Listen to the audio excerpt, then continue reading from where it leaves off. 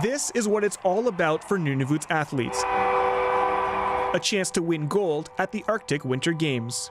But this year, some might not even get that chance. We've had to get pretty creative.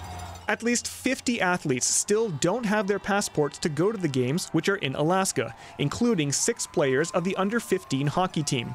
Language barriers, slow mail delivery, and missing documents are all being blamed. We had a couple kids in the communities that didn't have uh, birth certificates, which is a requirement to have your passport.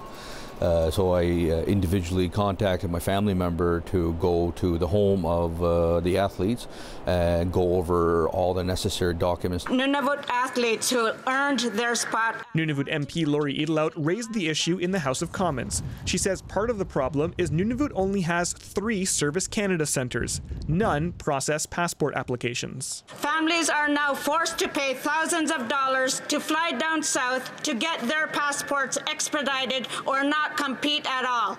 She says this issue is an example of the problems with Service Canada in Nunavut, including having no forms available in Inuktitut. The correspondence are sent in English and French only, so there are many Inuit that don't read either of those languages. Idlout says her office helped more than 20 athletes through the process by having their applications sent to her office here in Iqaluit and then hand delivering them to Service Canada locations in Ottawa and Gatineau. But in November, Idlout says she got a letter from Service Canada red flagging her office and banning her staff from presenting any more applications in person.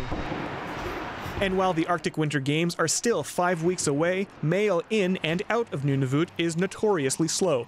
Even Xpresspost can take more than a week to reach its southern destination. Tack on the 20 day processing time for passports, and team officials are scrambling to get as many done as they can. Nick Murray, CBC News, Iqaluit.